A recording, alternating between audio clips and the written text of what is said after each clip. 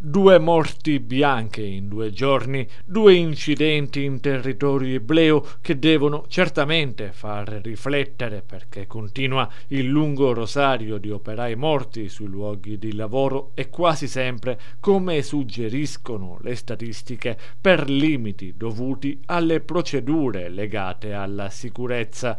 È quanto, in sintesi, afferma il sindacato CGL intervenuto subito dopo la morte di Antonio Scifo, l'operaio edile caduto da un tetto alto 10 metri mentre giovedì scorso stava facendo un sopralluogo su un capannone venduto all'asta nella zona industriale Asi tra Marina di Modica e Pozzallo, un caso che ha aperto già diverse riflessioni rimaste troppo tempo in sospeso, riflessioni sulla sicurezza nei posti di lavoro e sulle leggi che la disciplinano. La CGL ha chiesto un tavolo di confronto immediato sull'argomento, nonché la proclamazione del cordoglio cittadino a Pozzallo in memoria e in onore di un operaio morto nell'adempimento del suo lavoro.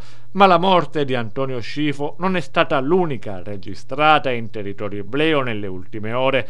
Proprio ieri pomeriggio un pensionato di 74 anni, Salvatore San Giorgio, è stato trovato morto nelle campagne di Santa Maria del Focallo ad Ispica dopo essere stato travolto dal suo motozappa. La macchina agricola gli ha tranciato la gamba mentre stava arando il terreno la vittima dell'incidente sul lavoro, il secondo in meno di 24 ore, non è riuscita a chiamare i soccorsi. A ritrovarlo esanime sono stati i suoi familiari arrivati sul posto perché l'uomo non faceva rientro a casa. Sul posto anche l'ambulanza del 118 e i carabinieri. Il magistrato di turno ha disposto la restituzione della salma alla famiglia.